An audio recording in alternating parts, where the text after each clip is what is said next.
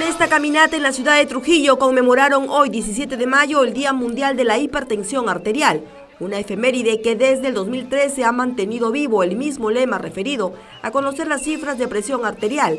Esa Lula Libertad organizó esta actividad, la cual tuvo como punto de partida el Parque de las Aguas en el distrito de Víctor Larco. Haciendo esta gran caminata por motivos diversos, pero el central es porque hoy celebramos el Día Mundial de la Hipertensión Arterial.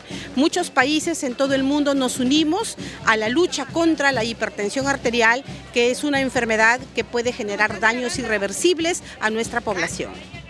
El control está en tus manos. Se debe a que muy pocas personas conocen cuál es su tensión arterial en estadio normal. Adultos mayores de las distintas redes asistenciales como el Porvenir, Florencia de Mora, Víctor Larco, entre otras, participaron de esta jornada saludable. Es una enfermedad silenciosa que puede ser muy prevenible y tratable cuando lo hacemos oportunamente.